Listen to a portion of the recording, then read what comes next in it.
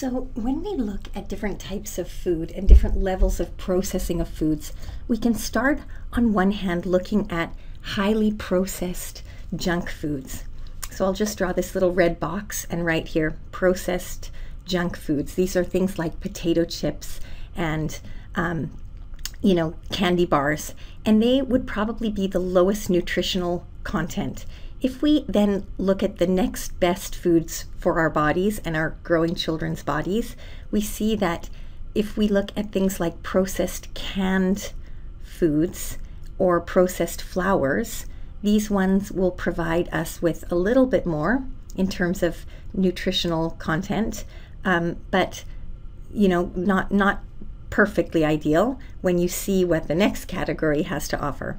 So if we move along to the next bar, we see that we get even more nutrition when we are looking at foods like unprocessed or less processed um, types of sorry i'm just going to write unprocessed before i make a spelling mistake.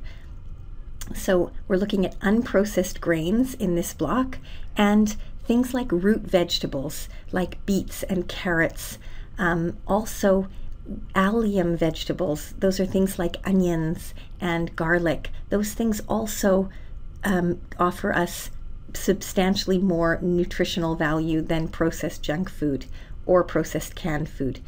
The tallest category, the one that gives us the most nutritional bang for our buck, if you will, are the very famous and very important things like fruits and vegetables. So these are obviously unprocessed.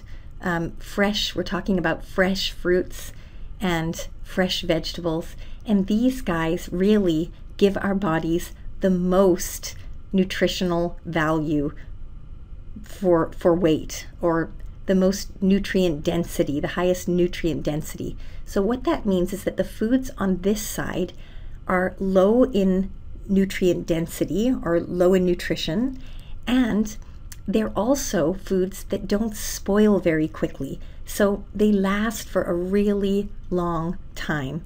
And this is one of the reasons why they're so profitable for, for processed food manufacturers to make and sell. And then on the other end, if we look up at the top here, we see that these foods are very high in their nutrient density or their nutritional value to us. And at the same time, they're going to spoil quickly because other sort of um, pests are going to compete for these foods. So, what that means is if we have something that we call a spoil rate, or the rate at which a food is going to go off if we leave it in our homes, then the spoil rate is going to go up with increasing nutrient density. So, if at all possible, we should choose foods that spoil quickly because that usually means that they're going to be better for us.